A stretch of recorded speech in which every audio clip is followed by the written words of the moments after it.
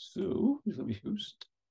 Oh, what we're going to do now is make a start on some questions. And how we're going to run this morning is I'm going to show you a question on the screen. I'm going to give you two or three minutes to come up with your answers. And um, um, as you as you um, um, as you do that, you make a note of your answers, and then we'll go through them and discuss them in a in a moment. So I'm going to show you the first question, leave for two or three minutes just to think about it, come up with your answers, and then we'll discuss the question why it's important. So here we go.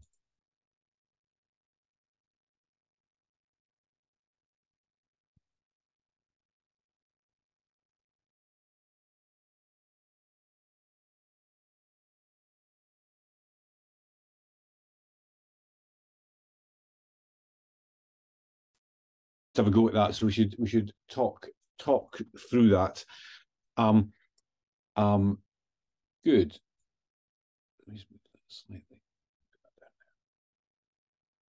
So, um, lateral resolution exceeds axial resolution. Lateral resolution is better than axial resolution. So we ended up talking a little bit about this yesterday, though I hadn't meant to.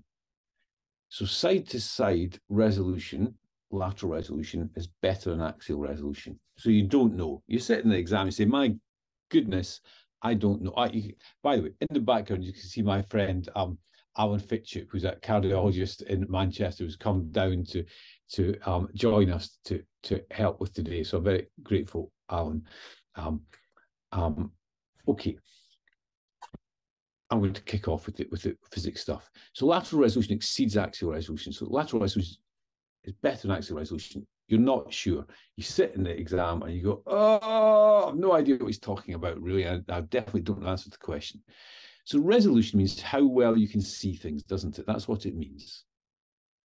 And um, it's saying, do you see things better side to side, or do you see things in more detail up and down a scan line?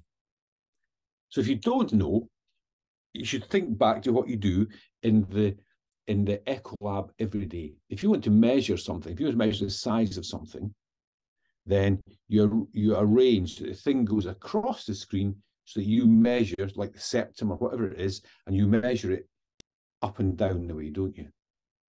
You so you set it so that the thing you want to measure is at right angles, horizontal on the screen, and you measure vertically in the screen. So that tells you the answer to this. That tells you that axial resolution up and down the screen is better than lateral resolution side to side in the screen because you choose to measure things up and down. So you don't even need to understand the question. You just need to think about what you normally do. And that is a really powerful thing for the exam. You know, go even if you don't understand the question, try and relate the question back to what you do on a day-to-day basis, because that'll give you the answer. But of course, that's not the real point of the question. The real point of this question is to tell you about lateral and axial resolution. We started to to talk about that um, um, yesterday. And um, if you remember, what we said was that um, lateral resolution was the ability to tell things apart side to side, um, whether that's two dots or whether that's one big dot like that. And um, how you how you could tell the difference was whether the beam was narrow enough. So this beam reflected off that, the next beam was narrow enough to get down the space between these two dots, and the third beam reflected off that. Um, and if that was the case, then you see a bip from the, the first beam, silence from the second beam, and a bip from the third beam, so you'd know there's two things there. On the other hand, if your beam was much wider, the first beam would bounce off there. The second beam was too wide to fit in the gap, so it would bounce off as well and the third beam would bounce off here. So if the beam was wider, you'd get bip, bip, bip. And the machine would think there's something here, something here, something here, therefore there's something that's that wide there. And you couldn't tell those two things. So the thing that allowed you to see things side to side was beam width. So beam width determines beam width determines lat, uh, uh, yes, beam width determines lateral resolution. And the other thing we said yesterday was because the beam spreads out as you go further down the screen, the beam width is narrower at the top of the screen and wider at the bottom of the screen, so that lateral resolution is better at the top of the screen and less at the bottom of the screen, worse at the bottom of the screen. Okay. What about axial resolution? That is to say, are these two points two separate points or are they um, just one point? And um, how you can tell them apart is if you're a little bit of ultrasound, which looks a bit like that. We'll, come, we'll talk more about that later. What actually looks like this, this little wavelet, like that. If it's length, the length of the wavelet rather than the wavelength, the length of the wavelet is short enough to fit in the space here, then you'll notice two bit you notice two things here. Whereas if it's longer, then you won't notice two things here. So the length of the wave packet is the thing that determines whether it determines the axial resolution. And that is because you've got a short wave packet, as it comes down here, it will bump into the first of these reflectors and it'll send back a signal. If it's small, it will then fit into the space between, as it keeps going down, it will fit into the space between the two reflectors, not be touching any of them, so not reflect any signal. And as it comes further down, it'll hit the second of these and it'll reflect a signal back. So what you'll hear is you hear bip, silence, bip. Whereas if it's a longer wavelength, a, a longer wave packet, sorry, um, it'll hit the first of these dots and it'll start reflecting. But when the leading edge here reaches the second one, the trailing edge is still reflecting off the first one. So it doesn't fit into the space between the dots. So one of them is always reflecting. So you've got a long wave packet here. It would start reflecting when the leading edge hit here. It'd still be, this tail end would still be reflecting the leading edge hit here. There'd be no silence in the middle because be continuously reflecting. And if you set a long wave packet down, you get a single back. And the machine would think there's something long there rather than two dots. So the thing that determines um, the thing that therefore determines axial resolution is length of the wave packet. So coming back to the question, and remember, it's not about the question. It's definitely not about the question. Um, oh, just stop sharing. Is that the problem? Um, So coming back to the question, um, lateral resolution exceeds axial resolution. The answer is false. You know that because axial resolution is better, but it's not about the question because that question won't arise in that format. It's about the things we discussed there. So, and that's a theme that goes through the through the day. Um, um, yes, there's a difference between wavelength and wave packet length. A wave packet is a little bundle of ultrasound you set down that might contain two, three, four, five wavelengths, or might be very, in, in the case of CW, it's very long, isn't it? It's infinitely long. Um, and we'll talk a little bit more later about um, um, how you make a wave packet um, or a wavelet or whatever you want to call it. Um, um, um, it's the, that being a bit of ultrasound that you send down the down the scan line. Attenuation of depth is corrected by TGC. Well, remember, we talked about attenuation yesterday. That's the fact that um, you're just walking through water makes you tired. It costs energy. A wave moving from one place to another costs energy just because of resistance and, and inertia and so on. And the only place that wave can get that energy is from the energy that it's carrying, because that's what wave does. It moves energy from one place to another. So the wave moves, it gets smaller. The amplitude gets smaller, doesn't it? And we said that means that for two reflecting surfaces to send back, if these are the two reflecting surfaces and here's the probe, to get to the first one, it's a short distance. To get to the second one, it's a long distance. So the second one's going to have moved a lot further, so have more um, um, um, um, attenuation, so be a weaker signal, even though these two look the same. So therefore, we said as you go deeper, you need more amplification or gain of, the, of this added to the signal to make them look the same. And one of the ways you correct that is by time gain compensation, those sliders that are on the echo machine. So that's correct, isn't it? Double uh, image artifact is due to refraction. Um, um, so let me just share my screen again while I explain that one. The answer is yes, it is. Um, put the whiteboard back on. What's refraction? Refraction, remember, is bending, change in direction of the beam because of a change in medium, isn't it? And here's your probe, and here's the thing that you are taking a picture of, a strong reflector like a tin aortic valve. It's got a sort of slightly shaped like that. And normally what happens, the beam comes down, bounces back, and the machine picks up signal coming up that direction and says, therefore, I know there, there's something there. The next beam might hit the rough surface here and be bounced off in that direction because it's not a perfect reflector. And that beam should never come back to the back to the probe, should it? But if there happens to be something like a blood vessel or a cyst here, so the change in medium, it can be shaped so that as you come in, there's a bend, as you come in, come out, there's another bend. Um, I've not drawn it quite right, but you know, as you get a change in medium, you get a change in direction. That's refraction. It refracts again when it comes out, and by chance, it might head back to the to the um to the probe along the scan line. So the, when the probe then looks down this scan line, sees any signal coming back, it sees a signal coming back. It doesn't know that this cyst or blood vessel, or whatever is here, and has bent the beam. So it presumes the beam has originated from down here. So you get a weak beam that looks like there's a second aortic valve over here. So that's true then, that um um that's the mechanism of how that um, refraction can cause a double image artifact. So that's true. Waves are generated and received by piezoelectric crystals. That's true. And we know that's true.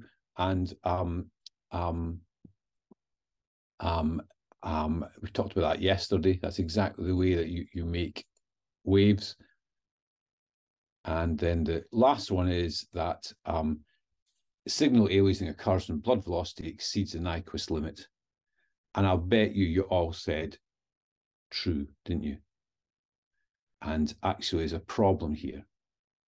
Because what I've done, what I've done is I've taken lots of words that you know are related to aliasing and I've stitched them together and I've made them sound correct. And if you take this at face value, you'll say it's true because you sort of half read it and say, yeah, I know the aliasing occurs in the when the velocity is too fast and the thing that determines that is the Nyquist limit. But what's the Nyquist limit? The Nyquist limit is half the pulse repetition frequency, isn't it? So how, and that's measured in cycles per second, it's measured in hertz. So how can two meters per second be more than four hertz? It can't be, can it? It doesn't make sense. How can you say, you know, two two Ford Fiestas is more than three Vauxhall Corsas? You know, how can you say two bananas are more than three apples? You can't. You can't compare things that aren't the same. Um, um, so you can't say two meters per second is more than four hertz. So it's false for that reason. If this question said signal aliasing occurs when the blood velocity exceeds the aliasing velocity, for sure it's true. Signal aliasing occurs when the Doppler frequency exceeds the Nyquist limit, for sure it's true. But I've mixed those things up. So watch out. You know, questions can be written like this so that they, they look absolutely reasonable until you until you um um until you stop and think about it. So don't be caught out with things like this. Okay, so that's the end of the first question. That's false for the reasons we've said. So for the next question, I think you should be able to see a poll just appeared on your screen.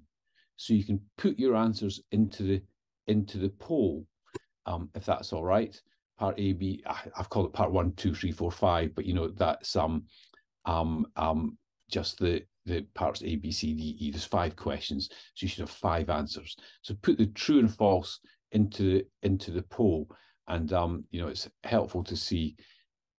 I don't know how somebody's answered them already, because hang on, you've not seen a question yet. You can't answer can't answer it yet. I'm going to end that and um, relaunch it. Um, so don't don't answer the questions until you see until you've seen them. Um, okay, so hang on, I will show you the next question now, and you can have a look at that. Give a couple of minutes to do it.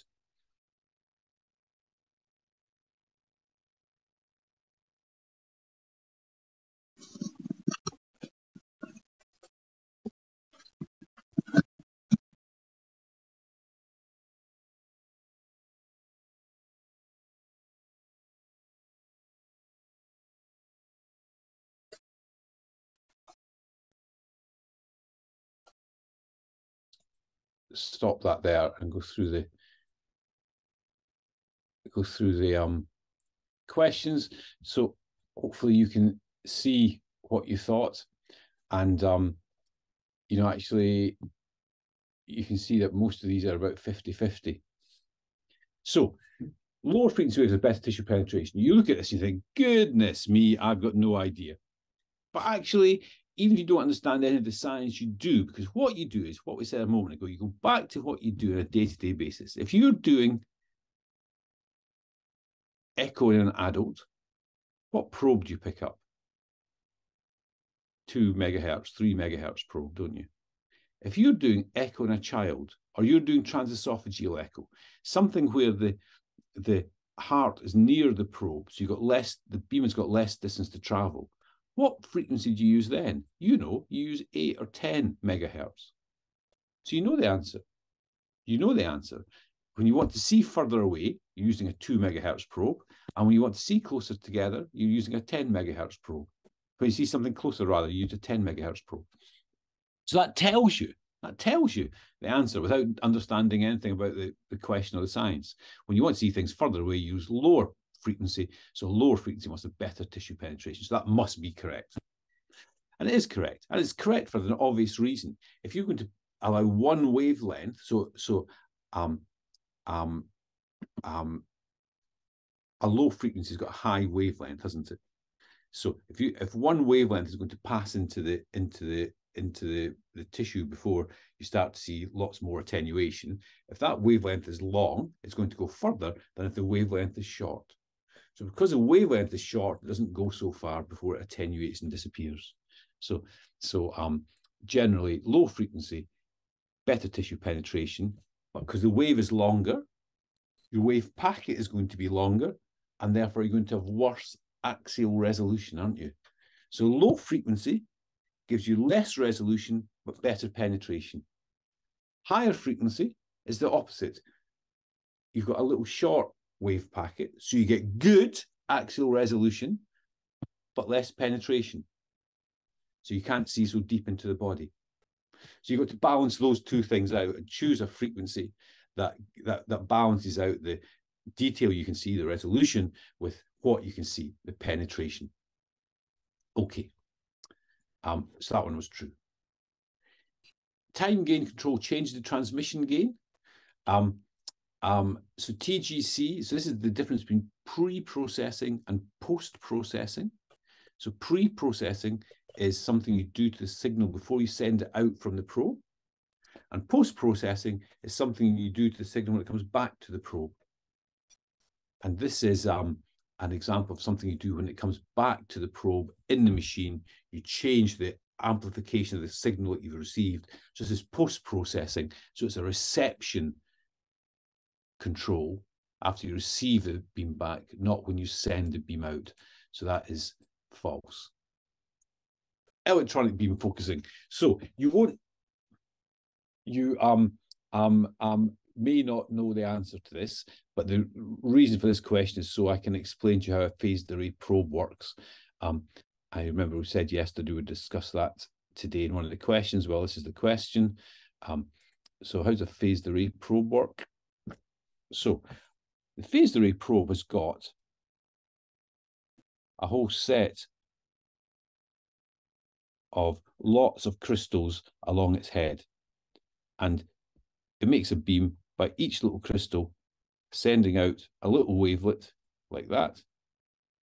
And then these wavelets move on, they cross over, they interfere, and you can see the line of maximum interference will be here, and they make a beam that goes forwards. So that's how you make a beam that goes forwards. How do you make a, so first of all, how do you steer the beam to go left or go right? Well, what you do is you set these little um, um, crystals off at different times. So for example, if you want the beam to go to the left of the screen, you set the one on the right off first. So you set that off first. So this beam has a time to get to here. The second one you set off a moment later. So it's only got to here. The next one you set off a moment later, it's only got to here. The next one you set off a moment later, it's only got to here, and so on. And you can see that the line of interference is now this line here, which is a beam going in that direction. So you steer the beam by changing the and transmission by changing the the um the timing of activation of the crystals, and you steer the beam and reception as you listen along this line by listening in the opposite order. So you listen at the left hand side first and the right hand side later. So you can steer the beam in both reception and transmission. How do you focus the beam? Remember, the focusing means making the beam narrow. So you focus the beam by um, setting off the outside ones first. So these two get to here. These ones get to here. These ones get to here. That one gets to there. And you make a curved beam like that, which is going in this sort of direction. And that makes a beam that does this. And that's how you focus the beam. And again, you can do the same in reception. Um, listen at the outside ends first and the middle last to hear uh, the focus beam coming back. So therefore, um, your question about electronic beam um, focusing can be done for beam transmission and beam reception is true, and that's how it works. You alter the timing of activation of the crystals. Ultrasound pulse length determines axial resolution. Um, We've said that already in our discussion about resolution earlier on. The length of the pulse, the pulse length, the wavelength length, whatever you want to call it, determines how good the axial resolution is. That's true. And receive zoom improves the spatial resolution of the heart. This is another another question about um, um, the difference between pre-processing and post-processing, things you do to the signal once you get it back, as opposed to, to the signal before you send it out. So after you've received it, so after you've got the signal back, if you increase the the um um increase the size, we zoom into a bit of it, does that give you better resolution? No, it doesn't.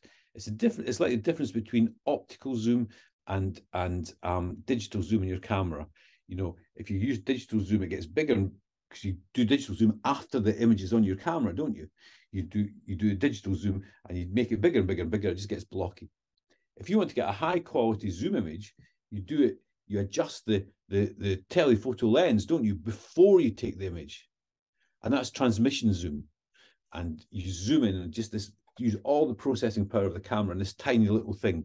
And then you get a high resolution image of what you're taking a picture of. So the difference between receive zoom and transmit zoom is the same as between optical zoom and digital zoom in your camera. So once you've received the signal back, you can't improve its resolution. You've already got it. So that's not correct. Okay, so next question.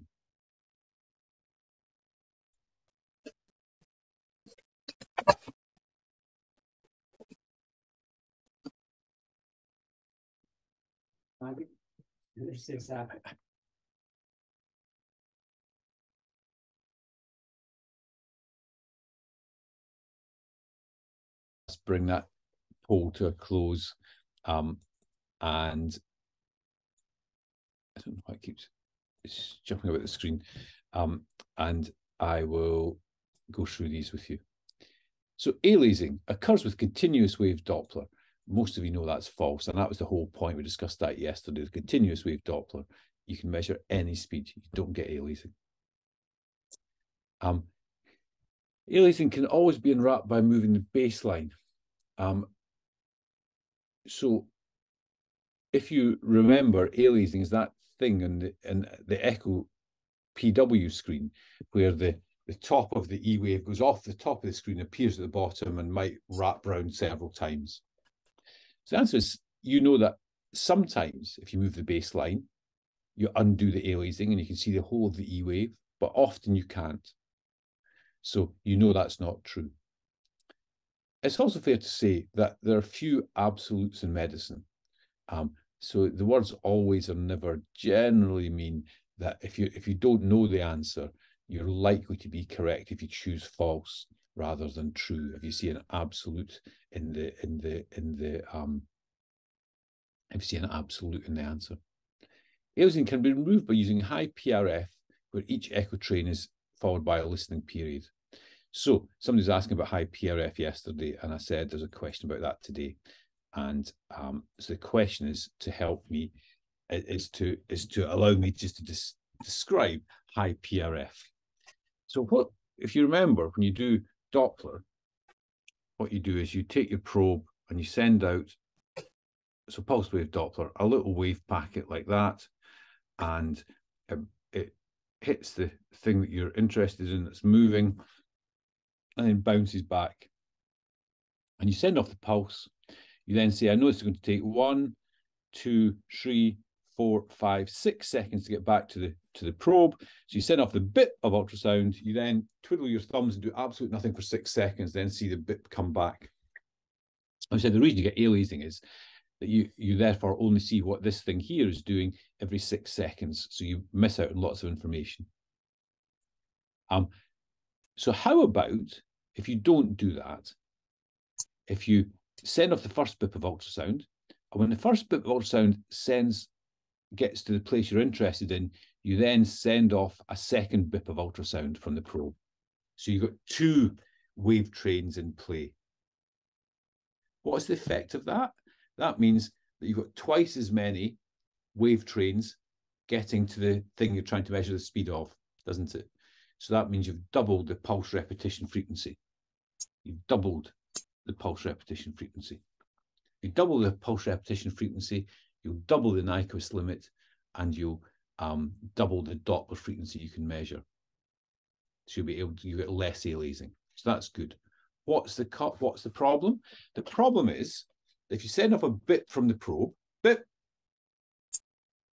and you send off a second bit, when it receives a signal back, that signal might have come from the first signal reflecting from the the the the um reflect you're interested in, or might have come from the second signal would because if you think of how long it takes for this to get back, it's that distance there, isn't it? Halfway there would be the same distance for the second signal to have bounced off something there and come back. So you hear a bit come back and using high PRF. What you don't know is whether the bit came from the first of the wave trains hitting the thing you're interested in, or the second of the wave trains hitting something halfway there. So suddenly you don't know whether you're hearing something that's reflecting at the point what you're interested in or something halfway there. So that means when you look at your box and using high PRF, you get a second gate appearing. You're interested in this bit here, but the signal might have come from the top gate. So that's high PRF. The advantage is that you um, get less aliasing because you can measure higher Doppler frequencies. The disadvantage is you don't know exactly where the signals come from. So aliasing can be removed by using high pulse repetition frequency, where each echo train is followed by a listening period. So this question should make you come out in hives because there's two bits to it. And for this to be true, the whole thing has to be true. So let me put the question back up actually so you can see it. Um, So aliasing can be removed by using high PRF. That's correct. We just described that. And high PRF is where each echo train is followed by a listening period. That's also true because you said you set up the bip and then you wait and listen. So both of those statements are true. Therefore, the whole thing is true. Aliasing can be reduced by altering the spatial resolution of the pulsed wave technique.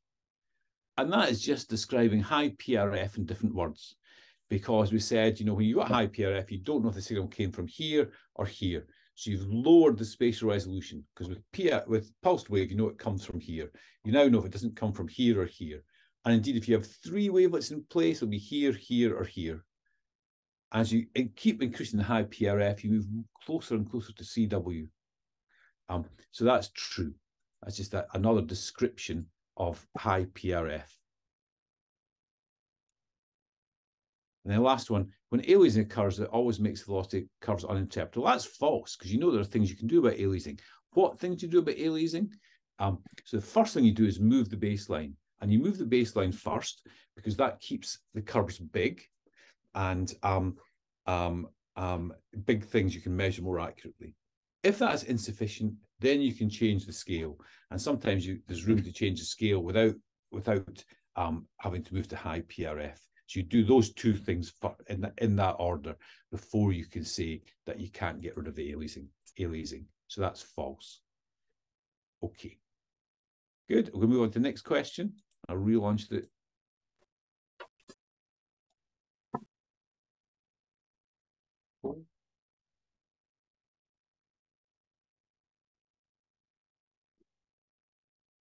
bandwidth should be as narrow as possible. I bet you all thought, bloody hell. um, um, okay, so what? So the this, this is this is this question is because I want to tell you about bandwidth, but I bet most of you didn't have a clue, um, um, unless you're a musician or a IT expert, um, and you probably thought, I don't know. So what do you do in the exam? What would you do in the exam? You can't go back to you know your experience in the, in the echo lab because you've never come across that. But if you think about the question, what the question says is, this is probably something that I can adjust because it's tell you asking you how you want to set it. And if it's a, if it's a if it what else can you adjust? I don't know, volume or gain. So replace the word bandwidth with something else you can adjust. The volume should be as loud as possible. The gain should be as high as possible. These things you know would be false if that's what the question said, wouldn't you? So therefore, even though you don't know what it means, but just in the presumption it's something you can adjust, the chances are this question is false, isn't it? And that's the kind of thing you have to do in the exam and say, how am I going to how am I going to come up with what I think is the best answer for this? Because I've, I've got to say this: there's no negative marking in this exam, so it's really important you come up with your best answer for every single question. So that's how I'd go about answering that question if I had no idea what bandwidth was, and you'd be correct in your answer. What is bandwidth? Let me tell you. Let me tell you about my um, trip to trip to work. I my statement is I drive to work at 80 miles an hour. That, of course, is not the case. Because in fact, what I do is I drive along through a little village at 30 miles an hour onto the A50, where I drive about 50 miles an hour, or the 515, about 50 miles an hour, onto the 50, where I drive 80 miles an hour, looking out for the policeman until I get to Stoke, where I slow down to about 50 miles an hour. And then the road to the hospital, there are three speed cameras all in a row. So I drive very much at 30 miles an hour, then I get to the park. So my I drive at 80 miles an hour was a lie because quite a lot of my journeys at 30 miles an hour and quite a lot of my journeys at 50 miles an hour. So it's quite a big mixture of speeds there. That's my journey to work. So I told you a lie when I said I drove at 80 miles an hour. I drove out to the Alps a few weeks ago. And I drove the Alps at 80 miles an hour. that is much closer to the truth because here's my trip to the Alps.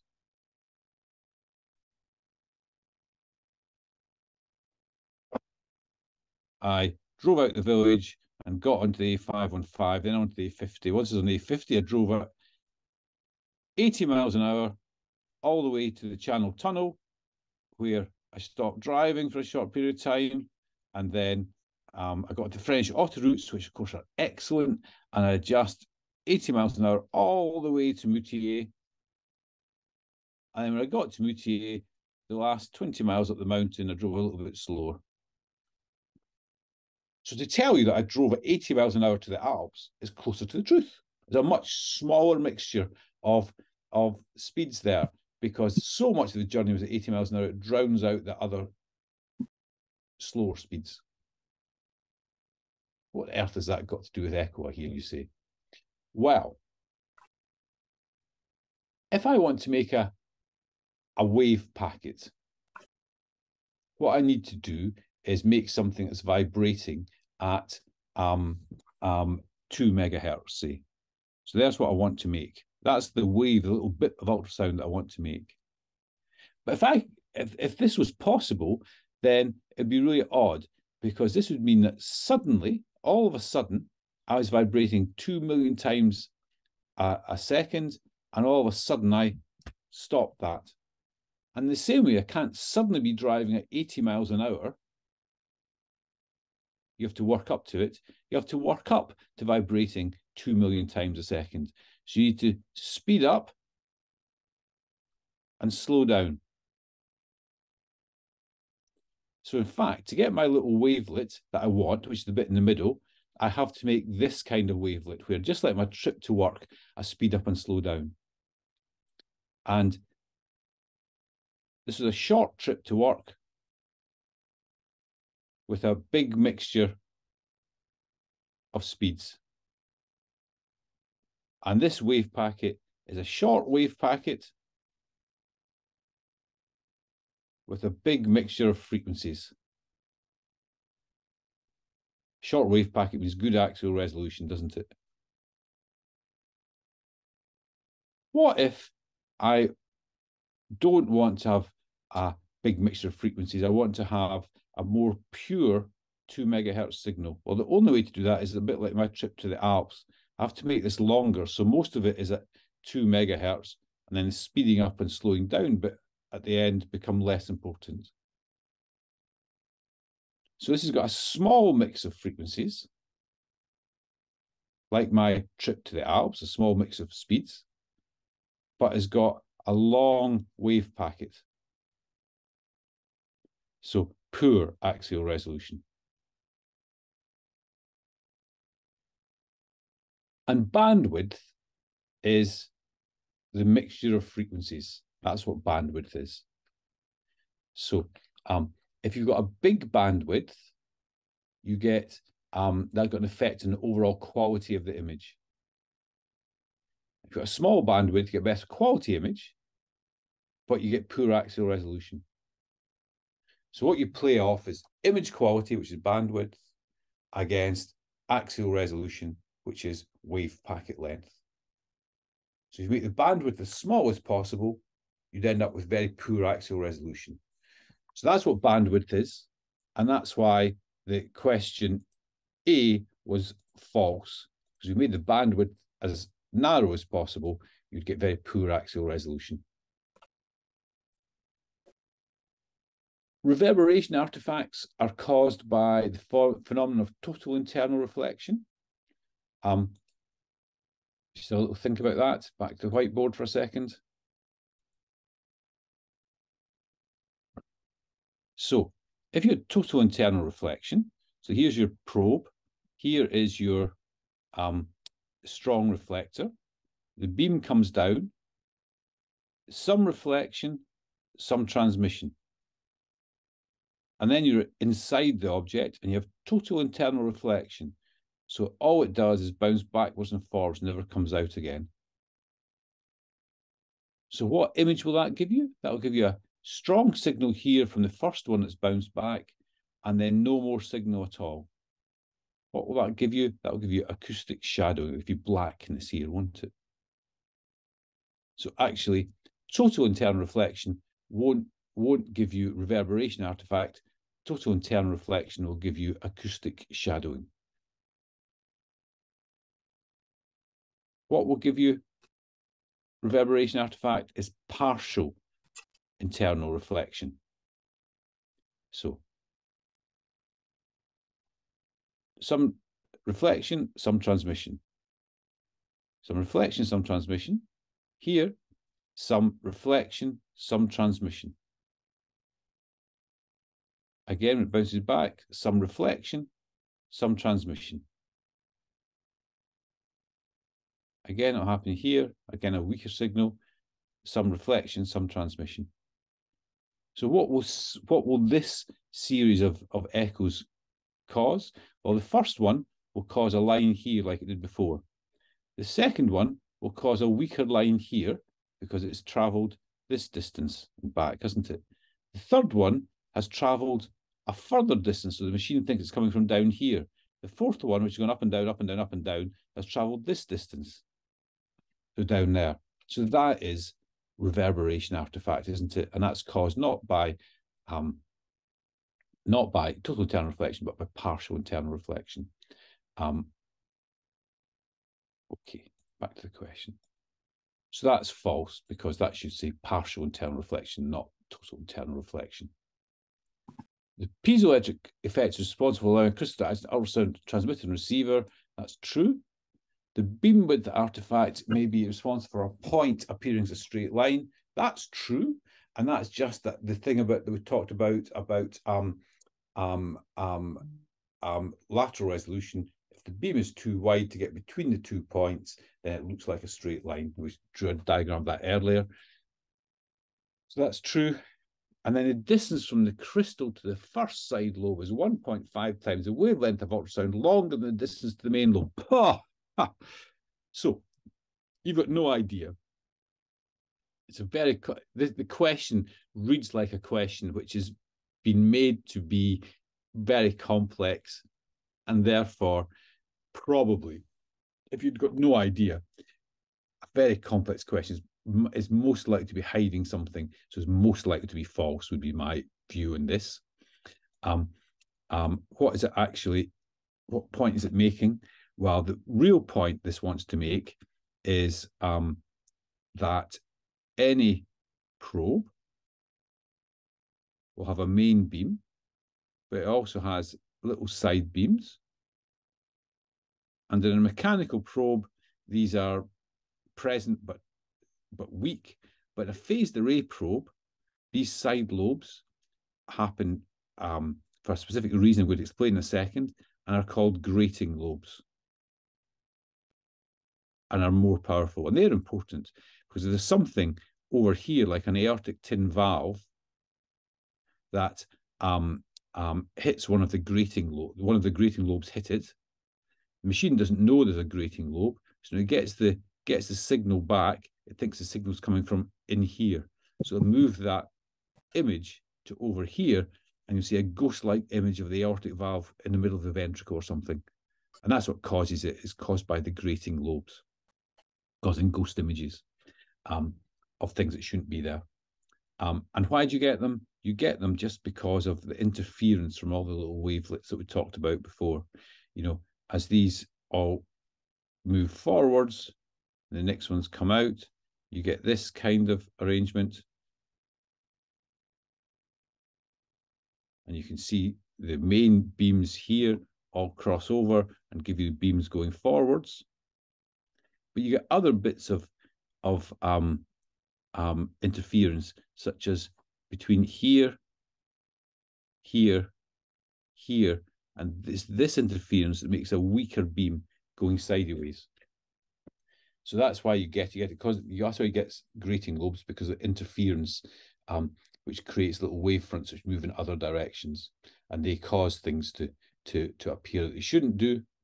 And um, this question was for me to tell you about side lobes and, and grating lobes, and it's actually false. And the question is false because it says 1.5 because you to get interference, you need to have the the the peak on top of the peak. Um, so it has to be not 1.5 times the wavelength, but has to be a whole number, one, two, or three times the wavelength. So it's this one's false. It's too hard, and you won't get asked this question. It's it's false because the 1.5. Okay, next question.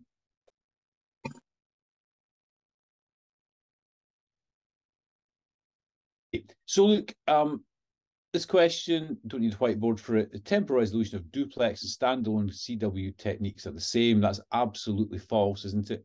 And um, because we said yesterday, duplex is when you got a little box, you're taking a CW or PW image, and you got a little box at the top with the moving grayscale image. You use most of the most of the temporal resolution, take the grayscale image, and you really ruin the the temporal resolution of the of the um of the CW technique when you use um, um, that. So that's a, a, a, bad a bad thing to do. Don't do it when you submit a case, um, as we talked about yesterday. So that's false.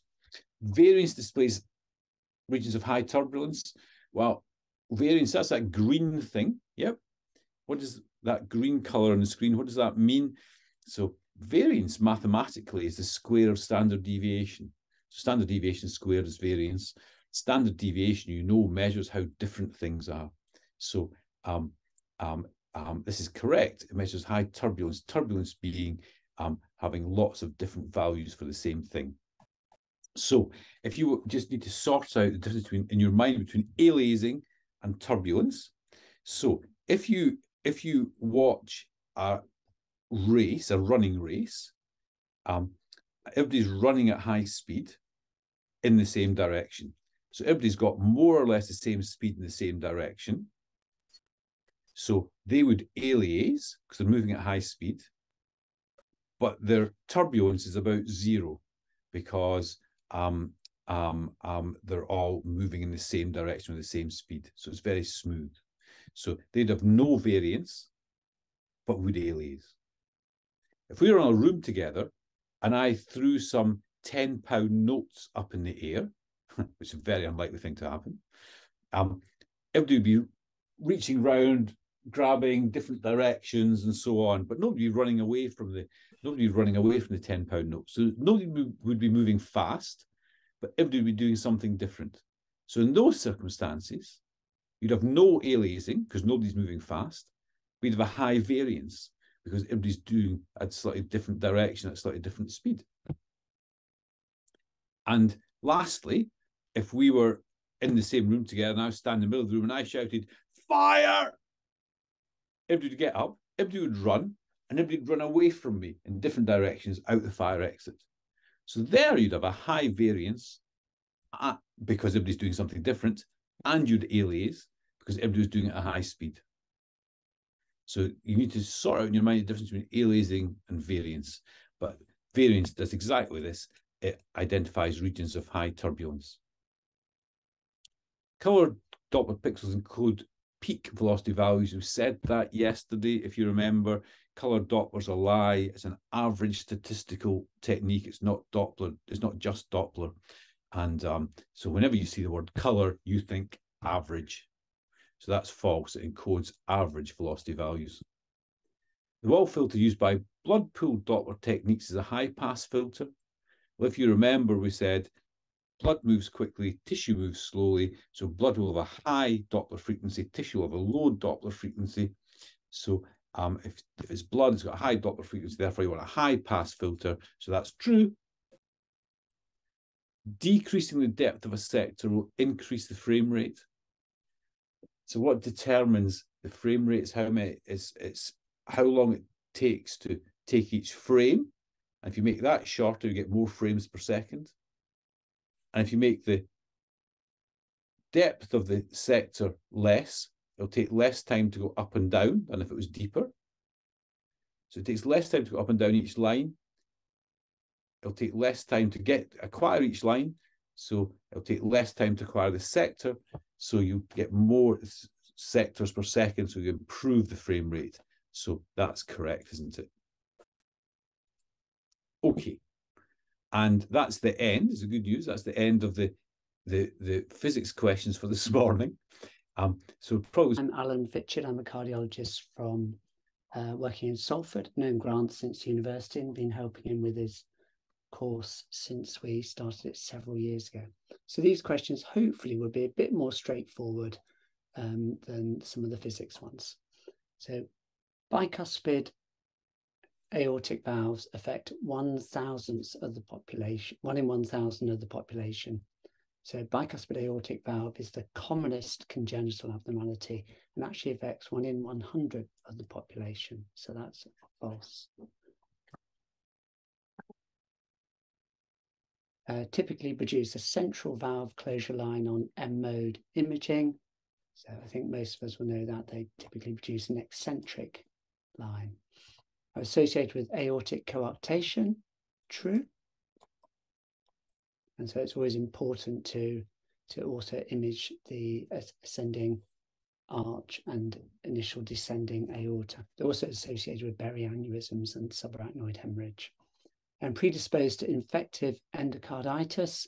So any abnormalities of the valve will predispose to infective endocarditis because of increased turbulence across the valve. So that's true. Characteristically becomes stenotic over the age of 70. Um, bicuspid aortic valves, because they're abnormal from birth, typically produce um, aortic stenosis at an early age, so in the uh, more likely in the fifth and sixth decade, whereas over the age of 70, um, we're talking about degenerative aortic stenosis. So that's false. Okay, next question.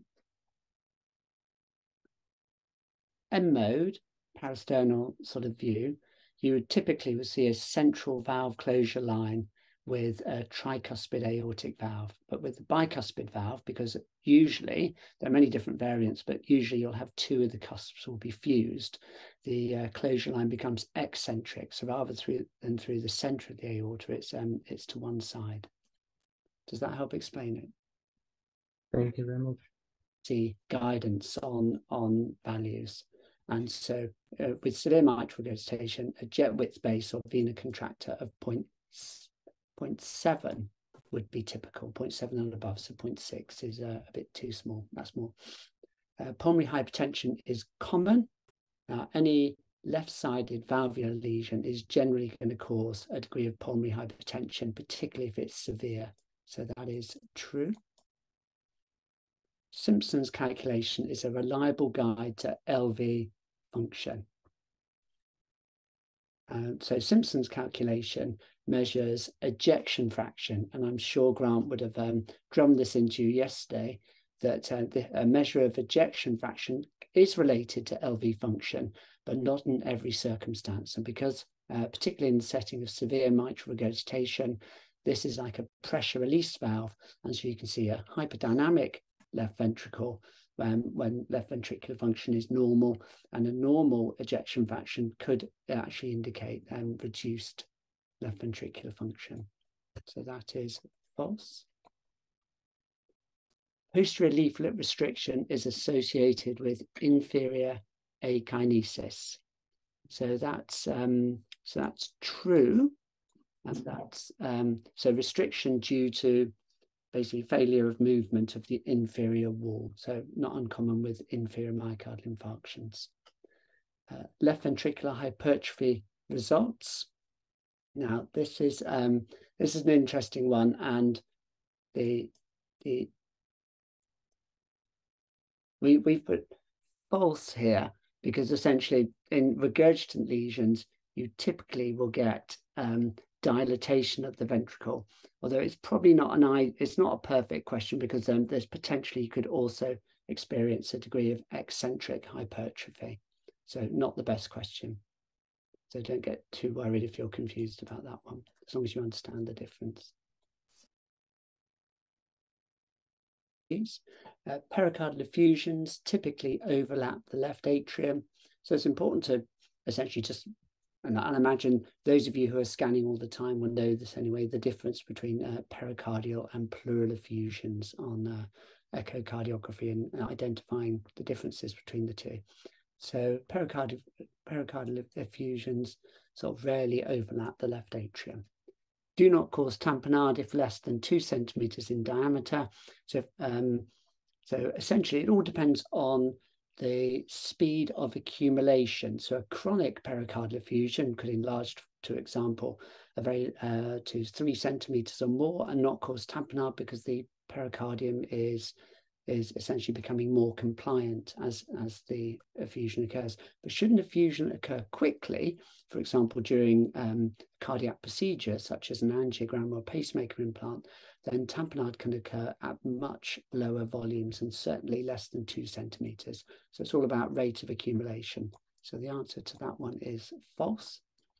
And anterior to the descending aorta, unlike a pleural effusion, that's true right atrial inversion for more than one third of systole is a sensitive indication of tamponade. And that's true.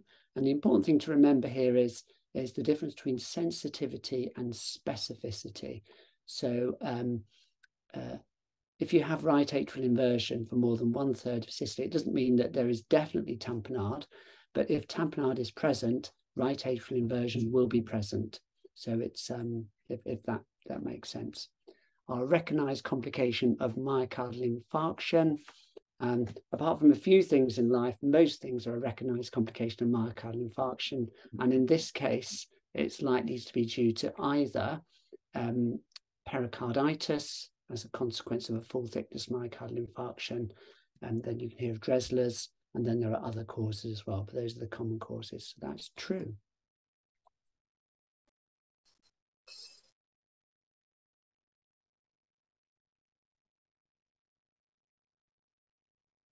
And I suppose we're being a bit harsh here, but essentially right heart dilatation um, means right ventricular dilatation. Okay, I imagine in um, in the exam it'd be a bit more specific, but essentially when someone says the right heart's dilated, essentially we mean right ventricular dilatation. So given the first one away, occurs in atrial septal defect. So the answer there is true, and that's uh, essentially if the atrial, atrial septal defect is large enough you'll have volume overload and that causes right heart enlargement. Um, is commonly associated with patent foramen ovale. So the answer to that is false. So a patent foramen ovale is, is essentially a, a failure of the osteo of the of the ostium secundum to close in utero and it occurs in between one in four and one in five individuals, and often re results in a very small atrial septal defect with very small flows, and so therefore is unlikely to be associated with a um, with um, right heart dilatation because the volume changes aren't sufficient. Complicates um, tricuspid stenosis, and this is just um, uh, encouraging you to to sort of look at the difference between stenosis and regurgitation. So stenosis typically causes hypertrophy of the chamber proximal to the stenosis and then dilatation. So stenosis will not affect the chamber distal to um, to to the to the valve, and therefore it won't cause the right ventricle to enlarge. Some of you might say, well, yes, it causes it can cause the right atrium to enlarge, but again, being a bit harsher, we're saying right heart dilatation means right ventricular dilatation. Is most commonly secondary to left heart disease. So the answer there is true. And you'll see that just from remembering clinical cases and the scans that you do, that when you see right heart enlargement, it's usually in the setting of, of left heart um, failure, either due to, say, muscle disease or valvular disease the right heart is thinner walled than the, the left heart um, and therefore sort of dilates um, much more readily. It's a feature of constrictive pericarditis. So the answer to that is false. Um, constrictive pericarditis causes compression of all four chambers of the heart and not right heart dilatation. Stroke not an uncommon uh, request for, uh, for echocardiography. Um, it's associated with mitral stenosis. So the answer there is true. Mitral stenosis causes dilatation of the left atrium um, and atrial fibrillation, and so therefore can result in embolic stroke.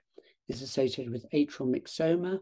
Um, atrial myxoma most commonly occurs in the left atrium and uh, is can produce embolic stroke either due to the the tumor itself embolizing or thrombus forming on the tumor and embolizing. So the answer to that is true complicates tricuspid valve endocarditis. Now, this always causes um, a, a, little bit of controversy. There will be someone who says that this is true, but essentially the answer is false. Because if there's, um, if you have tricuspid valve endocarditis and um, you have embolus from that valve, um, it will travel um, through the right ventricle out of the pulmonary artery into so out of the pulmonary valve into the pulmonary arteries and typically causes septic emboli in the lungs. And we're, we're just emphasizing here the difference between left heart disease and right heart disease and where the emboli go. Is associated with papillary fibroelastoma. And um, this is a, a bit of a controversial one. There's debate about this, but, but one of the things we look for in unexplained embolic stroke um, will be papillary fibroelastomas on the valves um, uh, because there is a potential association with um, with embolic stroke, and it and if no other cause is found, then anticoagulation would be considered. It's common in patients with patent foramen ovale, and so we do know. So the answer to this is false. And, uh, and it's important to read the whole question. So is common in patients with patent foramen ovale. As I explained earlier, um, one in four, one in five individuals have a patent foramen ovale, but will not have stroke. And so most people have patent, who have patent foramen ovale do not tend to have embolic stroke. However, if someone does have an embolic stroke, a patent foramen ovale as a potential cause of that should be sought. Hopefully that makes sense. Next question. The myocardium. Amyloid is the least common infiltrative disease. So that's false. It is the commonest one. Left ventricle and right ventricle dimensions are always normal. Um, as Grant pointed out, if you're not sure, generally always is always false and never is always is always false as well. But but essentially, with infiltration of the myocardium, you're going to um, get thickening of the myocardium, reduced function, and it will alter the dimensions. So the answer to that is uh, false. Mitral inflow E to A pattern always shows a restrictive pattern. So that's false, as we know you essentially um, can go through a pseudo normalization phase where the E to A pattern will appear normal. And that's why we use other, other measures of, of um, diastolic dysfunction. Patches of speckling in the myocardium are often seen. So the answer to that is true. That's the classical appearance of amyloid on echocardiography. Uh, um, we also see it often in hypertrophic cardiomyopathy as well, which is another infiltrative disease. Pericardial fluid is often visible, and the answer to that is, if I can just get it to come up, is true. Uh, particularly amyloidosis is not uncommon to see a small pericardial effusion. An assessment of congenital heart disease. Okay, I think we'll all agree that that's false.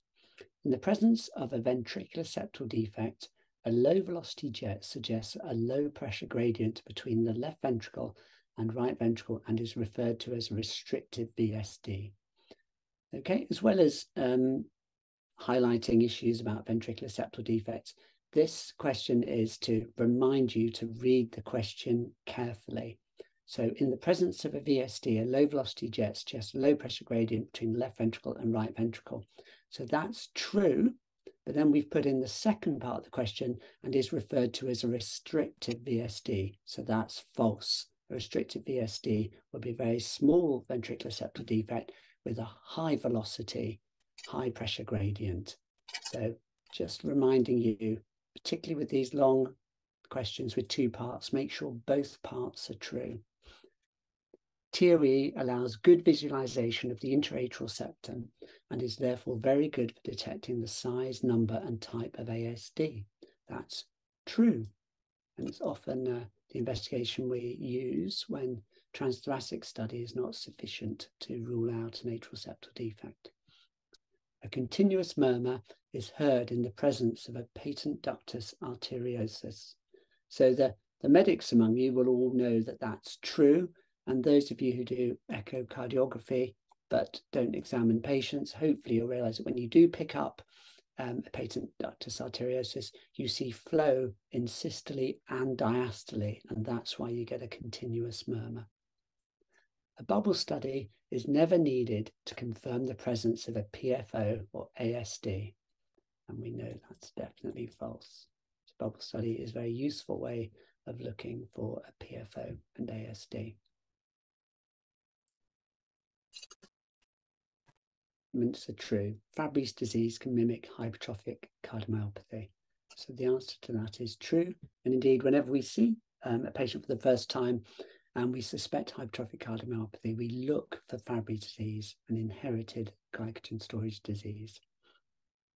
Myxomas are gelatinous and friable. I don't know if you've ever seen photographs of them, but they do look very gelatinous and friable. Hence, thrombus can form on them and they can also embolize very easily. One, and also on, on echocardiography, you can see they look generally sort of very friable and wobbly. One of the presentations of a myxoma is systemic emboli. And so uh, I think we've answered that in the previous questions. The answer is true. They often arise from the left atrium and can cause systemic emboli, in particular stroke. Amyloidosis often presents with a regional wall motion abnormality. So amyloidosis is an infiltrative condition of the um, myocardium and therefore is likely to produce global myocardial abnormalities rather than reg regional wall motion abnormalities. Sarcoidosis causes restrictive cardiomyopathy and the answer to that is true. Sarcoidosis is, again, an infiltrative um, condition and can therefore cause constrict.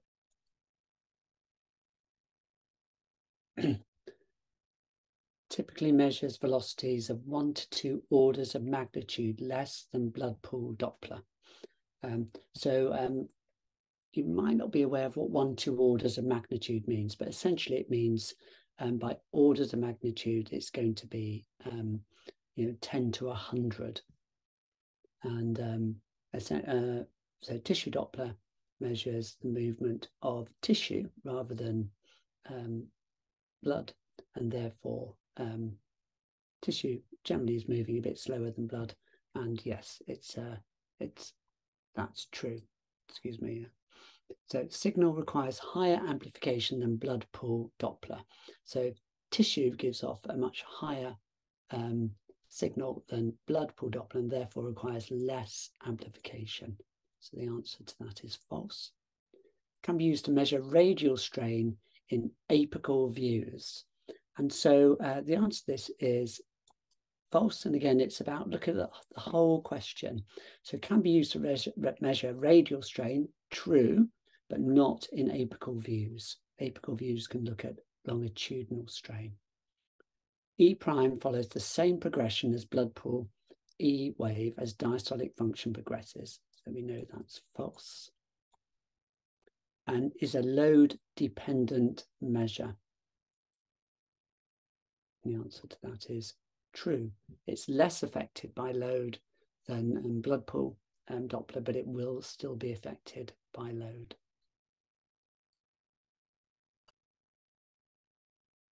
stress echo. Oh, let me give you a poll before I carry on. There we go. Is an unsafe procedure and needs to be carried out with care.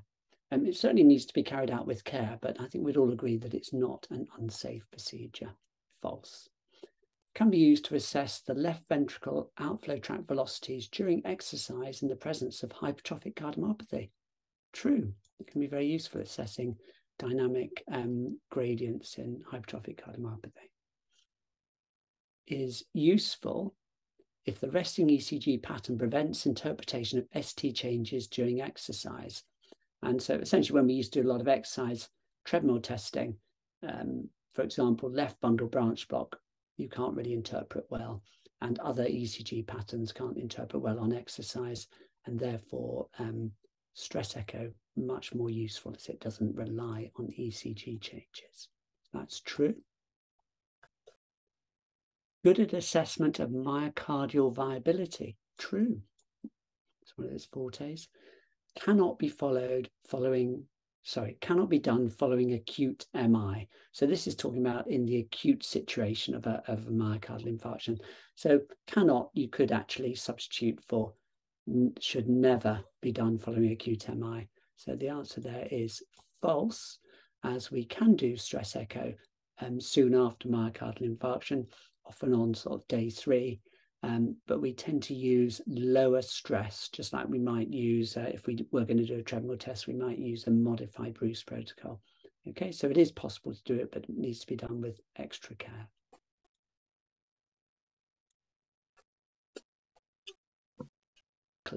And therefore, you have a bit more time for these questions that require a bit more in the way of calculation.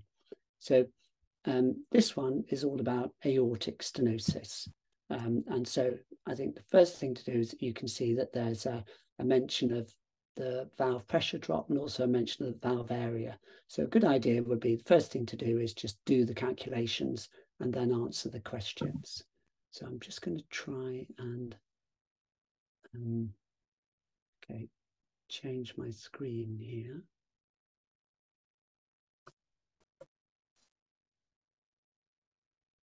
There we go. So hopefully you can see the whiteboard and the two the two sort of calculations um, we're going to use here um, will be um, indeed I've put them the wrong way around. So the first one is to assess the pressure, which is the bottom one on the screen here, which is the um, Bernoulli's um, equation. And because the um, the velocities are low, we should can't see the whiteboard, sir. Sorry. Sorry. Oh, you can't see the whiteboard. Right. Let me just see if I can make the whiteboard. Yeah. Okay. Can you see it now? Yes. Excellent. Okay. Um, apologies for that. So the, the two equations we're going to use will be the continuity equation to work out the um, the valve area and the and Bernoulli's equation. And because the, the velocities are low, um, we can't use the modified Bernoulli's equation. We use, need to use the, the full Bernoulli's equation. Okay, so, so first of all, working out the, the cross-sectional area. And I get used to using this little whiteboard here. So what we're going to we're going to look at is the first of all calculate the cross-sectional area of the LVOT, and you can do that. And, and so essentially that's going to be pi r squared. Um, another way of doing it is to use the diameter um, rather than the, the radius, and that would be pi diameter squared over over four. Okay, so you just divide it divide it down. But so um, so it's going to be 3.14 times, and again, uh, 3.14 times um, 0.19 because we're going to measure it in centimeters squared um, divided by 4 or, and then multiplied by the velocity in the LVOT. So LVOT peak velocity is 1.3 and then divide it by the velocity of the aortic valve and peak velocity is, um, is 2.6 and um, and the the measurement you should get there is I'm pretty sure should be 1.4 square centimeters. Okay. Uh, then when we want to measure the, um, the peak aortic valve pressure drop, we're going to use the modified, uh, not the modified, the sort of full Bernoulli's equation, which is um, essentially the aortic valve velocity squared minus the LVOT velocity um, squared multiplied by 4. And um, okay, so let's just work that out. So it's going to be 2.6 squared minus 1.3 squared times 4. I'll just get my calculator out. Has anyone done that?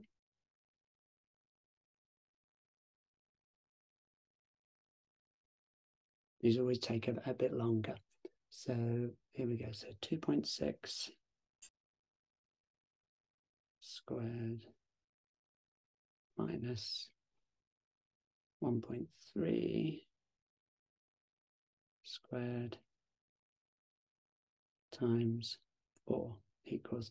So that should give us a peak um, pressure drop of about 20 millimeters of mercury. And I think what we're trying to do is just reiterate the importance that with low velocities, you need to use the full Bernoulli's equation, not the um, not the modified one. And indeed, if you're if you're given both velocities, um, use both velocities. Now let me see. Let's move back to stopping sharing that.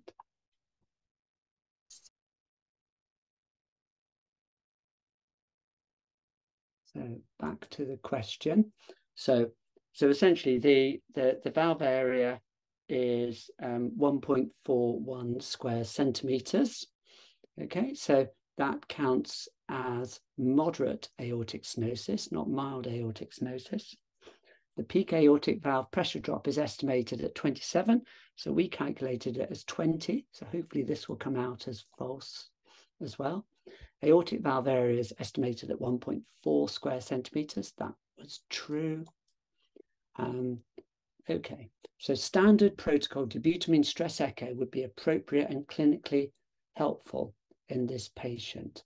And the answer there is false because this patient has aortic stenosis and we would tend to use um, low dose dobutamine stress in order to further evaluate the patient if we needed to. And then final question, if the patient had severe aortic stenosis, then stress echo would be expected to show an increase in transvalvular velocity. That's true. And a drop in valve area. So just be wary of these two part questions. It would not cause a drop in valve area. The valve area would be calculated as the same as as as all the velocities would would would alter. We're not going to change the valve area by doing um, a different investigation. So that's false.